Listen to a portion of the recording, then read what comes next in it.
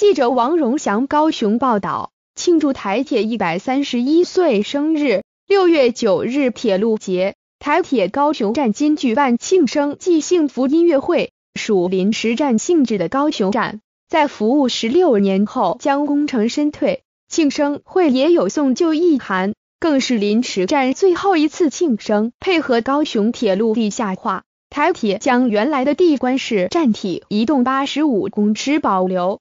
另搭设前后两个临时站服务乘客，于二零零二年三月二十八日启用。每年铁路节前夕，站方都会在三楼候车大厅举办庆祝活动。今天推出台铁一百三十一年庆生活动暨幸福音乐会，邀请表演团体现场大秀歌舞，与乘客分享台铁喜气。除现场精彩演出。高雄站新进员工智能机器人也首度亮相，并由站长为他配上亲善大使背带，正式加入台铁高雄站团队。亲善大使的第一天上班日人气热络，现场不少大人小孩争相跟他拍照，他也很有耐心的配合，还会跟民众说欢迎下次再来。高雄站站长上官慧珠说明，活动除了为台铁庆生。也是临时站最后一回举办庆生，明年庆祝会应该会到新站，